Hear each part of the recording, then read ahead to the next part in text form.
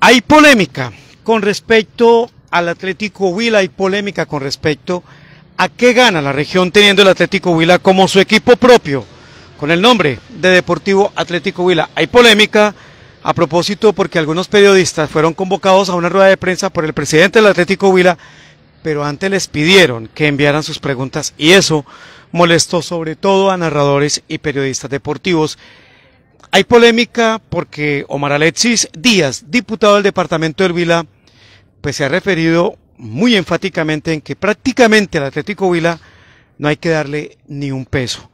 ¿Cómo es el tema de ni un peso al Atlético Vila, diputado? Buenas noches.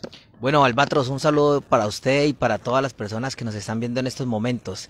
Sí, eh, hemos hablado y le hemos pedido respetuosamente al gobierno departamental que ni un peso más para Atlético Huila, sino replantea las políticas que tiene internas eh, que van encaminadas hacia, hacia nuestros jóvenes, hacia nuestros adolescentes.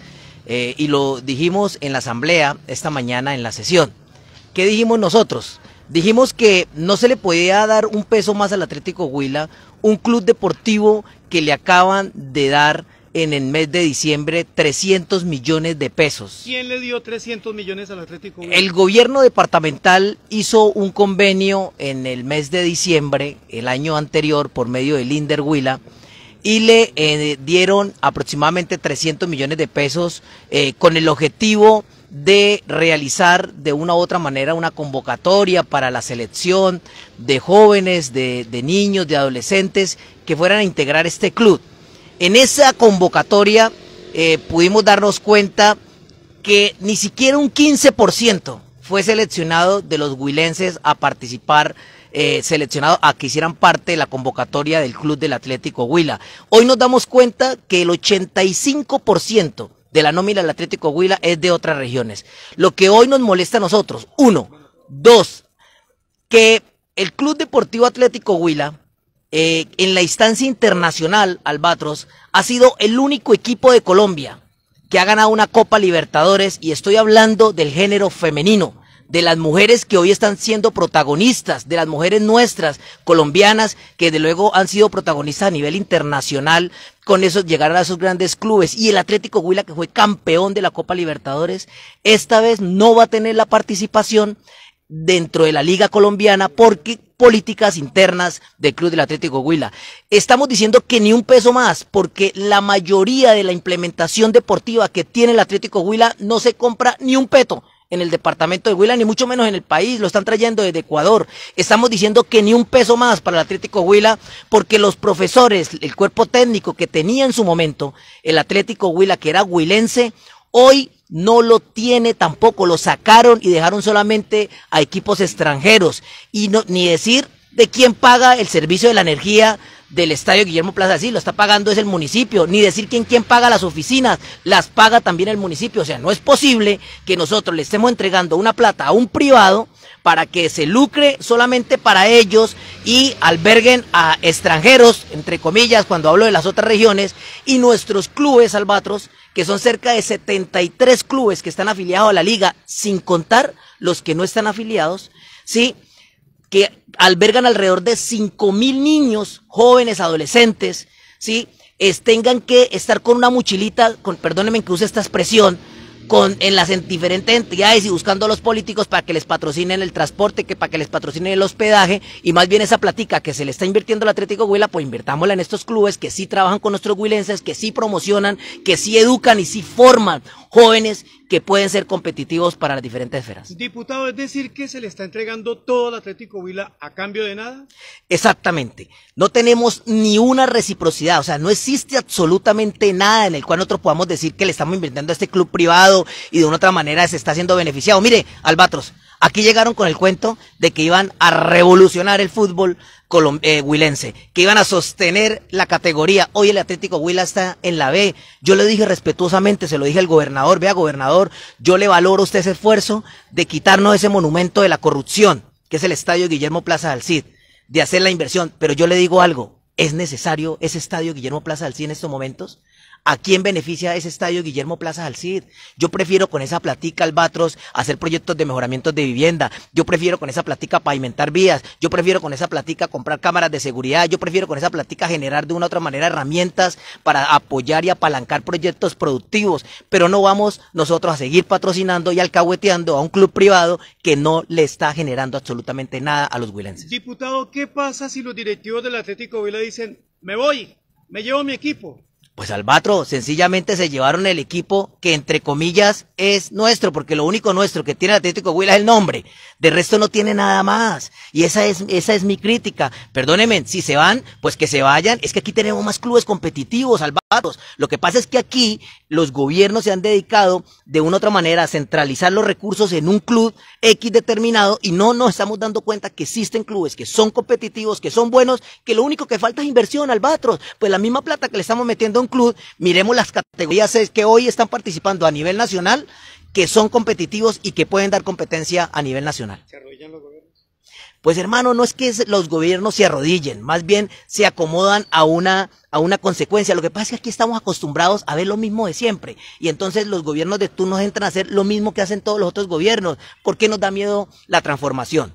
¿Por qué nos da miedo e innovar en algo diferente. ¿Por qué no creemos en lo nuestro? Eso es lo que ha pasado con los gobiernos de turno. No creemos en lo nuestro y entonces vamos y, miramos los de por allá abajo. Yo lo dije de una manera, perdónenme que use este término, pero de una manera coloquial. Mire, aquí llegaron los españoles y se llevaron el oro y se nos llevaron el río. Y se y embarazaron las indígenas. Y embarazaron las indígenas. Aquí llegó el embajador de la India y también se nos llevó y comió todo lo que quiso. Y ahora llegaron nuevamente unos ecuatorianos a llevarse los recursos que van, que pueden ir encaminados para nuestros clubes. Mire, esto, esto no ocurre en Antioquia, esto no ocurre en el Valle, esto no ocurre en la costa, ah, esto ocurre en el Huila. ¿Por qué? Porque nos falta que nos amarremos los pantalones y le exijamos. Yo no estoy diciendo que lo saquemos a sombrerazos. Yo le estoy diciendo al presidente de la directiva del Atlético Huila, cambien las políticas que tienen internas y precisamente esta, la de darle la oportunidad a los jugadores nuestros, ¿Por qué? Yo tengo entendido que solamente hay tres, cuatro jugadores huilenses dentro de la nómina profesional. Pero perdónenme, ¿cuántos minutos juegan esos, estos muchachos dentro del, dentro del partido? Los tienen como cuando usted tiene una sub-17, los sub-17 que solamente juegan dos, tres minutos como para cumplir el requisito. Eso no es así. Ve, Albatros, nosotros hemos tenido muchachos muy buenos. Aquí tuvimos a Cañaña, que fue un jugador nacional, que es un jugador de extranjero. Aquí hemos tenido a Maya, que se fue para el Brasil. Aquí hemos tenido a jugadores que desafortunadamente Dios se lo ha llevado primero, que fue el muchacho del accidente que tuvo en el agrado. Becerra. Becerra. Aquí hemos tenido jugadores buenos, lo que pasa es que no creemos, no le damos la oportunidad, no le damos esa confianza para que jueguen. Ese es mi llamado respetuoso, es un llamado al gobierno departamental y ojalá lo escuche también el gobierno municipal a que haga un alto en el camino e invertamos en nuestros clubes que sí le dan la participación a nuestros cubilenses. Diputado, le he preguntado, ¿y si los directivos se llevan el Atlético Huila, qué? Y entonces, si se lo llevaran profesionalmente, ¿qué va a pasar? Pues no pasa nada al Batros porque se va a un club privado. Y a reemplazo de un club privado, pues puede llegar otro club privado que de una u otra manera sí le dé garantías a nuestro equipo. Yo no estoy, y, quiero que no me vayan a malinterpretar los, los hinchas eh, o quizá las personas que se apasionan con el equipo, con el club, yo no estoy diciendo que lo saquemos a sombrerazos. Yo estoy diciendo que cambiemos la metodología. Mire, uno de los cambios que tienen que hacer, usted lo acaba de decir, ¿cómo es posible que convoquen a los periodistas a que les manden primero las preguntas para ellos analizarlas y después decirles cuál sí y cuál no? Perdóneme, estamos en el siglo XXI. Perdóneme, tenemos una libertad de prensa. Pero ¿qué esconden? ¿Cuál es el miedo? ¿Cuál es el temor? Yo siempre le digo a los periodistas cuando voy, díganme lo que me quieran decir, pregúntenme lo que me quieran preguntar, que de una u otra manera, pues yo soy un ser humano y si me equivoco bien y si no, pues tengo que decir la verdad. Es que el que nada debe, nada teme. Pues pregunten lo que sea, que lo único, lo único que yo veo detrás de cada periodista que es, que se investigue, que, que, nos muestren la verdadera lo que está pasando en el Atlético Huila, que en el caso del club, cómo va a ser competitivo. Es que ya comienzan muchos runrunes que quieren tener al Atlético Huila cinco o cuatro años más en la B porque termina siendo mejor rendimiento para eso. Y entonces juegan con la emoción de los hinchas, que de una otra manera van a un estadio de fútbol, compran una boleta, compran un abonado, ¿sí? Y lo, lo que no nos damos cuenta es que detrás presuntamente puede haber un negocio que es lo que estamos mamados de ver esa rosca y ese juegue y juegue y entonces juegan definitivamente con las emociones, pero ante todo aquí están jugando con los recursos del departamento.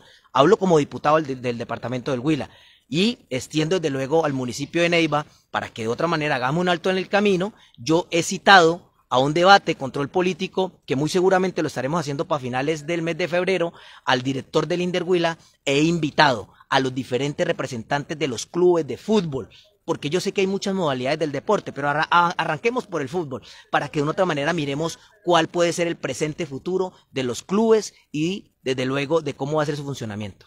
Diputado, usted me dice, si el Atlético Huila se va, no hay problema. Es decir, que podría haber la posibilidad, si el Huila se va, si el eh, director, eh, o mejor aún, el presidente del Atlético Huila ve esta transmisión en vivo y dice, hombre, me molestó lo que dijo el diputado Omar Alexis Díaz y yo recojo mis cosas, mi plata, mi equipo y me voy. Entonces habría la opción de crear un nuevo equipo. ¿Cuál es la salida en ese caso, por ejemplo? Yo he aprendido que nadie es indispensable en la vida y así ocurre en todos los escenarios. Si el Atlético Huila decide irse, que no es el objetivo nuestro, el objetivo nuestro es de que replanteen la forma de cómo vienen haciendo el trabajo, ¿sí? Pues hombre, Albatros nos va a dar a nosotros, si se va y si le entra una rebeldía a los directivos del club, pues con mayor vera nos va a dar a nosotros el empoderamiento para hacer una alianza deportiva en el departamento del Huila e invertir en nuestros jóvenes y demostrarle a nivel nacional que los huilenses sí somos competitivos y que sí podemos permanecer en una liga profesional y que sí podemos alcanzar grandes logos, logros para los huilenses, para el disfrute, para el gozo, pero ante todo, pues desde luego para la economía. Perdóneme, un muchacho que sale de los barrios populares, que sale de unos asentamientos, que viene de la zona rural del departamento del Huila, ya lo hemos demostrado, ya tenemos nivel, aquí solamente es invertir. ¿Por qué los antioqueños sí pueden? ¿Por qué los bayunos sí pueden? ¿Por qué los costeños sí pueden? Mire, pueden hasta los chocuanos. ¿Por qué nosotros no podemos si la tenemos toda, si tenemos ahorita un centro de alto rendimiento? O sea, nosotros lo único que nos falta es unirnos y creer en lo nuestro. Hagamos una hipótesis. Que el presidente Maruán dijera, me llevo mi Atlético Huila. Tenemos legalmente como crear otro equipo, montar de nuevo y empezar con gente de aquí, como lo propone usted, con sangre de huilense, con algunos jugadores de Baraya, de Tello, de Pitalito, de Garzón, de San Agustín, de Neiva? Pues le, dejo solamente estas cifras. Legalizadas, 73 clubes de fútbol en el departamento del Huila. Ahí debe haber algo. De ese 33 clubes, aproximadamente cada club tiene 50 jugadores. Usted multiplique 72 por 50 y nos dan alrededor de 4 mil jugadores. De 4 mil jugadores, ¿será que no podemos nosotros buscar competitivamente unos 100 jugadores? Yo solamente hago esa pregunta. ¿Será que nosotros no tenemos nivel? ¿Será que no creemos en esos, en esos eh, licenciados que hoy están haciendo un buen trabajo con esos clubes? Aquí ya tuvimos una competitividad en la C. Para nadie es un secreto. Nos dicen a nosotros de qué, que qué se pueden llevar el estadio, pues si el estadio es nuestro. ¿Sí? Entonces, de una u otra manera, sí podemos nosotros tener un club representativo competitivo y aquí lo que, lo que ha pasado es que como, repito, es que como aquí hermano tenemos una costumbre de que llega el extranjero y entonces le hacemos la venia y entonces le ponemos el mantel rojo y entonces para afuera lo nuestro, no creer en lo nuestro y vengan los de, los de afuera porque los de afuera sí creen. Yo creo que hay que cambiar ese chip y creer en lo nuestro y yo estoy seguro que tenemos perrenque, que tenemos cañaña, que tenemos jugadores de clase, que tenemos muchachos que sudan la camiseta. Yo hoy, por ejemplo, me vine al Batros porque tenía un encuentro deportivo y tenía que cumplir este acto con su merced. Yo sé que ya el, el, próximo equipo, si el Atlético Huila no me podrá contratar a mí, pero bueno, hay muchos muchachos más jóvenes que pueden ser de rendimiento y nos pueden dar mucha alegría. Si el Huila se fuera de Neiva diputado legalmente, ¿podemos crear otro equipo? Claro que sí, es que nosotros lo podemos hacer, es solamente entrar dentro de las ligas competitivas para eso y vuelvo y repito, e invertir en lo nuestro. Dígame, le voy a poner solamente un ejemplo a todos los ciudadanos. Le estamos invirtiendo en un club privado que de una u otra manera no se lleva, o sea, no nos representa en nada a nosotros como huilenses. ¿Sí? Si ustedes vieran un club nuestro, con jugadores huilenses, con jugadores del barrio, con jugadores de la vereda, con jugadores del municipio, de los corregimientos. Dígame si la gente no se motiva a ir al estadio a ver a esos jugadores. Son sus, propios. Son sus vecinos, son sus familiares, son sus amigos. Yo lo único que estoy diciendo, repito, no estoy sacando sombrerazos al Club del Atlético Huila. Le estoy diciendo que cambien la forma de ser. Por eso los vamos a invitar a la asamblea para que vayan y debatamos y me digan entonces, vea diputado, usted está equivocado. La cifra de los huilenses está mal. Es esta cifra que tenemos nosotros. Entonces yo le, ah, bueno, listo. Vea, diputado, está mal. Nosotros hemos hecho un proceso con todas las escuelas y hemos invertido y hemos y estamos fogueando y estamos. Pero a mí me duele escuchar a padres de familia decir, no, mi hijo se presentó en el club del Atlético Huila, pero no alcanzó. Pero lo sacaron, pero lo relacionado. Es más, yo me abstengo de creer, me abstengo de creer los cuentos y rumores que dicen, no, lo que pasa es que no hubo billete para yo poder meter a mi hijo. No, eso, eso, eso no puede existir aquí en el departamento del Huila. Y entonces se van a buscar eh, futuro a dónde? A la equidad, a Envigado, al propio Cali, al propio América. No, nosotros no podemos dejar ir nuestro talento cuando existe un talento tan significativo y pues esa platica que le vamos a invertir allá, yo prefiero que la invirtamos en nuestros clubes que sí dinamizan el deporte en el Huila. Transmitimos en vivo para ustedes, ha caído la noche, es martes. Eh, aquí en la capital del departamento del Huila hay polémica. El diputado Omar Alexis Díaz hoy senta un precedente diciendo que se le invierte mucho al Atlético Huila y que es poco lo que recibimos los Opita, lo que recibimos los neivanos del Atlético Huila. Señala que el Atlético Huila pues es un equipo comprado eh, por em, expertos en temas de fútbol que no son colombianos y señala además que en medio de este ejercicio las cuentas no cuadran porque, reitero, es muy poco lo que se recibe con respecto a lo que se da. Hagamos cuentas para finalizar, diputado.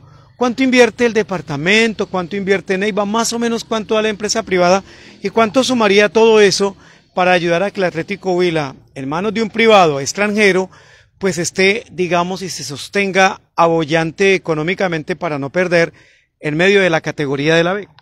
Hagamos cuentas. Yo creo, Albatros, que dentro de lo que tenemos proyectado, de lo que hemos mirado, el, solo departamento el año pasado le giró los 300 millones de pesos.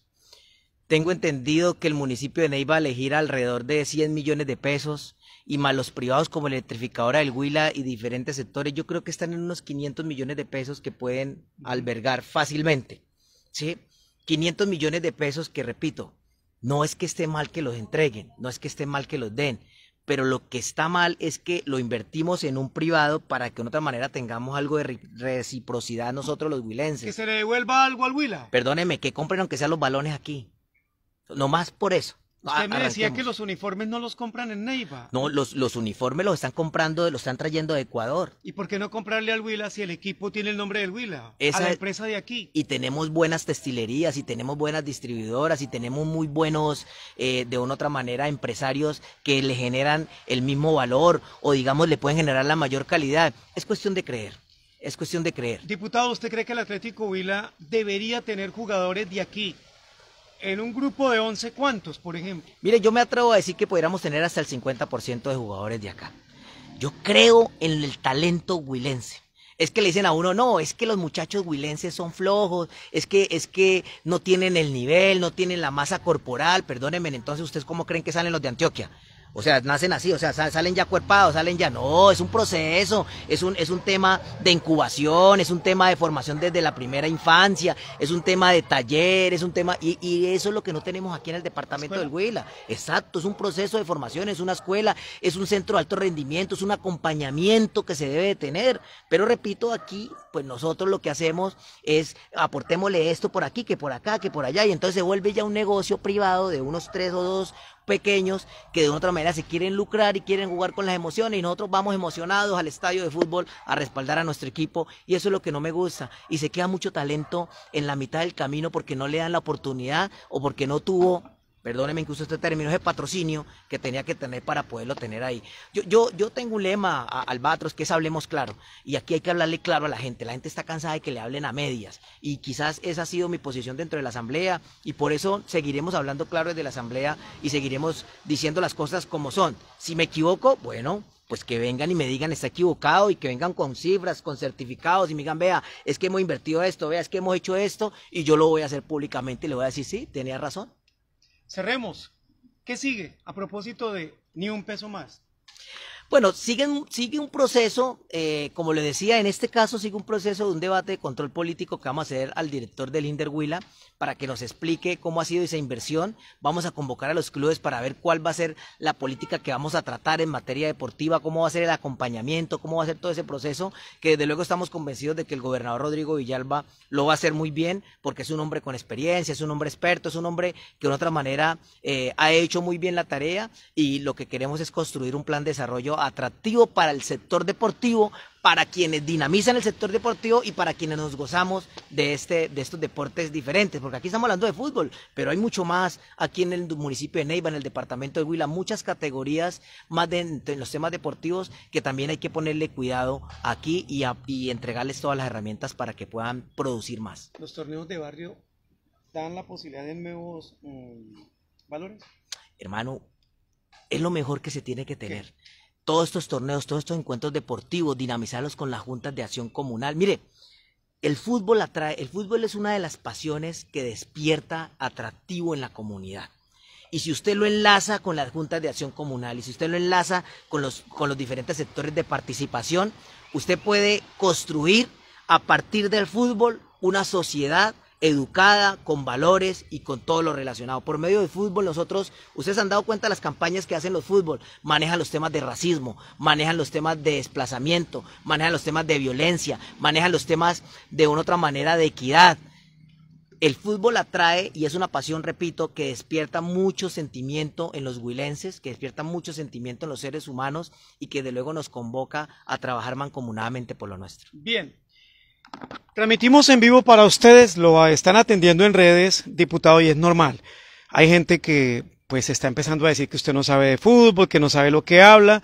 De pronto la gente no ha entendido que usted no está hablando tanto de fútbol, sino que usted está hablando es que el Atlético Huila recibe aquí unas cosas, pero a cambio la región recibe muy poco con base en lo que la región le ofrece al Atlético Huila, que es por donde usted ha encauzado esta entrevista esta noche. Sí, desde luego, hombre, sentarme yo en una asamblea a decir que tengo la palabra de Dios, eso es complejo. Yo lo que me estoy refiriendo específicamente es a la inversión que hace el departamento a un club X, ¿sí? En este caso al club del Atlético Huila. Si usted me sienta a mí con un club del Atlético Huila y me sienta con los 73 clubes que existen en el departamento del Huila. Y si esos 73 clubes me dicen a mí, usted está equivocado, diputado, deje que le inviertan la plata al sector, al Club del Atlético Huila, entonces yo me callo, me retiro y digo, ustedes tienen razón, porque me lo está diciendo a los que verdaderamente conocen, viven y se gozan el tema del fútbol. Pero hoy creo que estoy representando a esos clubes que se han sentido golpeados y que se han sentido de una otra manera. Es que Albatros, Mire, yo lo he vivido y lo ha vivido cualquier ciudadano de a pie aquí en Neiva cuando usted ve a un profesor de una escuela de fútbol coger una mochilita y decirle, ayúdeme, que mañana tengo un torneo en Ibagué y que no tengo para el transporte y no tengo para el hospedaje y no tengo para eso. Y yo me doy cuenta que están trabajando con nuestros niños. Ojo, niños que hoy gracias a ese entretenimiento, gracias a esa perseverancia, gracias a ese cuidado de ese licenciado o de esa persona empírica que tiene un club deportivo en el barrio, en el asentamiento, lo está eh, haciendo, contrarrestando los, los, flagelos de la violencia, los flagelos de la drogadicción, los diferentes flagelos. Esa persona, ese club, añoraría que le dieran aunque sea un peso de esa plata que va destinada para unas personas que, repito, no dejan absolutamente nada para nuestro departamento y que no dejan tierra. Que digan o no digan en las redes sociales, desde luego soy respetuoso de las opiniones de cada una de las personas, pues para eso estamos en la opinión pública, pues para que la gente exprese y se pueda, se pueda decir, yo no soy como el Club del Atlético Huila que les digo, no, esa pregunta no, quítemela, elimínemela, no, no, no, no. Ustedes pueden opinar lo que quieran porque vivimos en, en una democracia y yo soy respetuoso y creyente. Pregunta, amigo. Siguiente pregunta, amigos. Diputado Cierro, le está preguntando Wilson Soto a esta hora en esta transmisión en vivo, porque es en vivo, que por qué tiene usted una camiseta del Real Madrid y no tiene puesta una camiseta del Atlético Huila. Usted ya lo explicó, que viene de un partido de fútbol amistoso, que, se, que tenía que llevar esta camiseta, pero pues como le están dando palo por el hecho de la camiseta, porque está dándole palo al Huila, diputado, ¿por qué tiene puesta una camiseta del Real Madrid? Le está preguntando Wilson Soto y no una, y no una del Huila. Oiga, pues les voy a contar y les cuento como siempre la verdad. Imagínense que yo no jugaba fútbol hace cuatro años porque el ejercicio de la política a mí me ha llevado precisamente a estar en reuniones, a compartir con la gente en las veredas, en los barrios, en los diferentes sectores. Y hoy los diputados organizaron un partido y entonces me dijeron, hermano, ¿cómo no va a llegar usted a jugar y a compartir con nosotros? Esta camiseta me la prestó un amigo que llegó y me dijo, pues yo no tengo, de otra manera tenga diputado, coge y coloques esta camiseta. Yo me coloco la camiseta que me pongan. ¿Sabe qué es lo que a mí más me importa? Lo que llevo en mi corazón y en mi corazón llevo sentido de pertenencia por todos esos niños, por todos esos jóvenes huilenses que se paran tempranito, que se limpian sus zapaticos y van a los clubes añorando algún día ser como James, algún día ser como Falcao, algún día ser como el pibe Valderrama, como el Tino Asprilla, jugadores profesionales que quizás hoy no tienen esa oportunidad y quizás le ha faltado la dirigencia política, pararse como nos estamos parando nosotros. Lo que pasa es que esto toca callos, lo que pasa es que esto hiere susceptibilidades, lo que pasa es que como estamos acostumbrados a mirar lo mismo y hacer lo mismo y cuando llega alguien a hacer algo diferente, pues eso se incomoda y eso es normal, Albatros, pero esto tiene que cambiar. En algún momento esto tiene que cambiar y direccionar. Si el fútbol estuviera bien, estuviéramos nosotros en la A hoy y estuviéramos nosotros en la finales. Hoy no, hoy estamos en la B y hoy de una otra manera lo que necesitamos es respaldar a los clubes que verdaderamente trabajan con nuestros eh, jóvenes huilenses. Bien, que el Atlético Huila tenga cinco o seis jugadores nacidos aquí en Tello, Baraya, en San Agustín, en Neiva, es una de las, de las peticiones que hace el diputado Maralexis Díaz. Que el Atlético Huila compre en el Huila, porque recibe plata del Huila, que compre al menos los uniformes a quienes tienen eh, empresa aquí, a quienes tienen confecciones aquí, que el Atlético Huila invierte en la región así como la región lo ayuda. Que los directivos del Atlético Huila no sometan a los periodistas a decirles, envíeme las preguntas por adelantado y de acuerdo a esa pregunta yo le digo si se responde o no se responde. Nada debe ocultarse y menos cuando están los colores de este departamento, cuando está el nombre de este departamento. A eso ha dicho el diputado que hay 73 clubes donde hay potencia futbolística que probablemente, que probablemente pasa inadvertida en medio de las necesidades y las ganas, las agallas, eh, las ganas de tragarse el mundo en un campo deportivo y de demostrar que se tiene y que se nació para ello. ¿Algo más antes de cerrar? No, Albatos, hermano, pues felicitarlo a usted, vea que nos está haciendo esta entrevista a esta hora y que nos salimos de un partido para estar aquí compartiendo con cada una de las personas. Yo otro fuera hoy y entonces le digo, Albatos, ¿usted qué me va a preguntar? Del Atlético Huila, espéreme, voy me coloco una camisa del Atlético Huila y me la coloco, espere, voy coloco una camisa de otro equipo. No, yo me vine porque le tengo que cumplir a los medios de comunicación y porque le tengo que darle una información a la opinión pública y estoy aquí dándole la cara. Y repito, y si mañana van y me dicen, usted está equivocado, tenía que hacer esto, tenía que hacer lo otro, pues hombre, pues saldré a decirle a la comunidad y a la opinión pública me equivoqué. Hoy estamos tratando un tema de docentes. Le he dado la pelea con los docentes hasta el final. Estamos a un paso de que 82 docentes hoy no pierdan el empleo por una negligencia administrativa. Me iba a ganar un sector que de otra manera se iba a perjudicar. Aquí estoy. Cuando usted toma una decisión, asume las consecuencias. La consecuencia mía cuál es? Que nuestros niños y adolescentes y jóvenes en el Huila tengan participación en las diferentes eh, entidades que tiene, participación que tienen los gobiernos departamentales y municipales.